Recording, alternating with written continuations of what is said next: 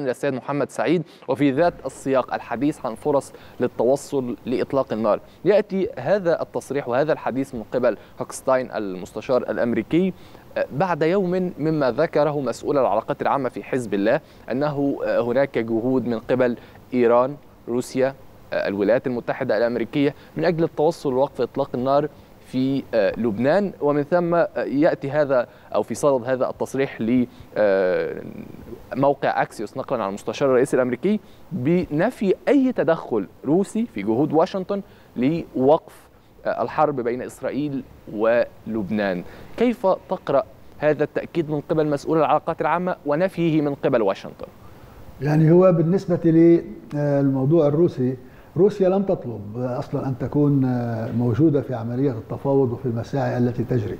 وزير الشؤون الاستراتيجية الإسرائيلي هو الذي ذهب إلى موسكو وهو الذي طلب أن تشارك روسيا في يعني مش الضغط يعني التواصل مع الرئيس بشار الأسد في سوريا من أجل اتخاذ قرار بمنع إدخال السلاح إلى حزب الله. هذه هي المسألة بالنسبة لروسيا. أما بالنسبة للموضوع ككل يعني وقف إطلاق النار أو إنهاء الحرب في غزة وفي لبنان شعار طرحه ترامب. وهناك في الإدارة من يعمل على ذلك ولكن وفق أي شروط؟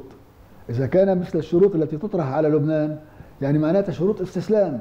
ولا أعتقد أن لبنان يمكن أن يستسلم أمام الجيش الإسرائيلي خاصة وأن هذا الجيش لم يحقق أي إنجاز بعد حقيقي على الأرض ولم يحتل أي قطعة أرض من لبنان لكي يعني نسميه هذا انجازا.